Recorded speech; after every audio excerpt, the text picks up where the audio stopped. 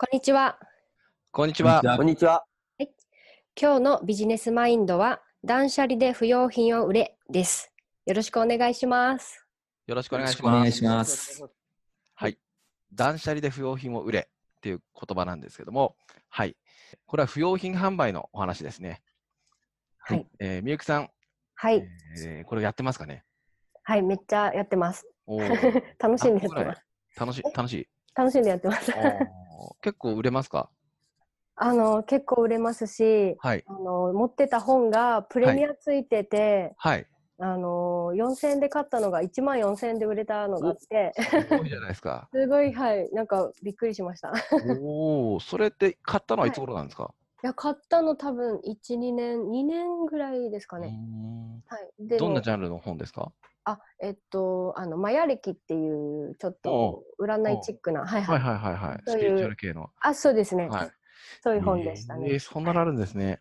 はい。すごいじゃないですか。はいどう。思いました？それって。ああのいくらではい。出そう出したんですか？出品は。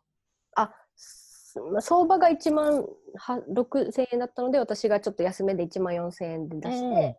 うんじゃあ相場を調べたらそんな上がってってびっくりみたいな。あ、そうです、そうです。はいはい。じゃあ調べる前は4000円ぐらいだと思ってたんですか？あ、もうだか1000円ぐららいでいいかなみたい3000円とか2000円で売れたらラッキーだなと思ってました。ところが、はい。ところが、はい。ところがそんな、に儲かっちゃったとあ、そう、はい、そういですねうことで。すよね。は。はいい。うーん、鎌田さんも最近やってるって噂を聞いたんですけども。最近、はい、あの、はいち。ょっとまあ、あの、えっ、と、家がちょっと汚いってのもあるんで、はいあ。の、いろいろこう断捨離しつつ、なんか、あの、子供の、あの、おもちゃとか、そういうのを、あの、不要品で売あの売ったりしてます。うんうんうん。どうですか？はい売れますか？ポツポツ。えー売れますね。はい。うん。先月も全うん部1万円ぐらいになったと思います。りあの、利益で。いくら？1万円ぐらいになったと思います。1万円ぐらいになった。はい利益？売り上げ？え、えっと売り上げでしょ？利益です。利益ってはいそう、売上げです。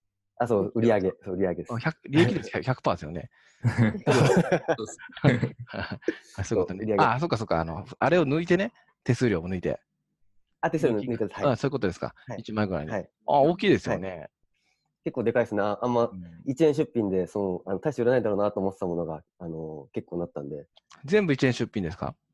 全部1円出品です。うーん、じゃあ1週間で終わる感じで、確実に。そうですね。まあはい。1円でも売れはいないのもたまにありますけどね。そうですね。はい。うんうんうん。そうですか。で、送料は別で送料別です。あの、うんはい、もちろん。じゃあ、昔えじゃあうん。いくらぐらいになります ?1 円で出して。ものによってですけど。1円で出して、4000円とかなったのもあったり、あとまあう500円とかのもありましたけども、そうですね。高いのより5000円になったのがありました、え、ね。1円で終わるのないですか？1円動画、昔ありましたね、そういうのも。あ、でも最近はない。最近は、えっと、今のところはないないですね。うーん、さすがですね。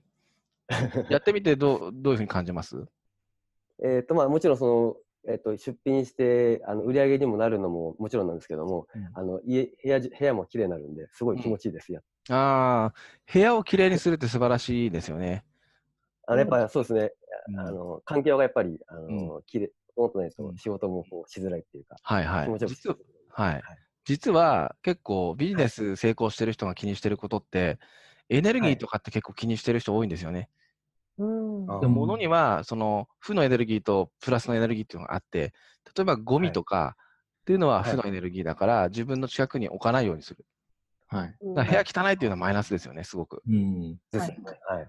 で、やっぱりゴミとかもはなるべく近くに置かないで捨てると。はいはい例えば、えー請求書が届いたら、あのーはい例えばまだ1ヶ月ぐらいあったとしますよね、はい。はい。期限が。で、キャッシュフローを考えたらギリギリまで待った方がいいんだけど、でもうん請求書って自分からこうお金を出てくものだから、はい。はい自分の近くに置かないでパッと払ってなくしちゃった方がいいんですよね。うん。ああ、なるほどそういうところも見てたりするんで、断捨離っていうのはすごく大事ですよね。はい不要なものはなくて、やっぱ自分のプラスになるものを自分の周りに集めて、シンプルにした方がいいっていうことが一つなんですけど、はいうんあ山口さんも結構これ、不要品やってましたよね。そうですね。あの、ビジネス始めた当初はすごいやってまして、うん。はい。半年ぐらい使わないものは意識的に全部売るようにしてました。うん。お金いくらぐらいになりました、それ？いや、合計で多分20万とか、うんもうちょっといったかもしれないですね。自己アフィリとか入れたら30万ぐらいになりましたか？はい全部で40万ぐらい、当時40万ぐらいはアフィリが結構稼げたので、まあ最近あんま稼げなくなっちゃったんだけどね。まあだいぶ状況況。変わってるみたいですけど。うん。はいうんそっかそっか。まあそれで20万とかなったら、例えば、えーと資金ゼロの人がビジネス始められますよね。そうですね。うんはい。軍資金大きくなると思うんで。はい。うんうんあと、どんなメリットがありましたか？いや、やっぱり、その、なんて言うんでしょう、不要なものがなくなると、こう、考えが整理されるというか、うん。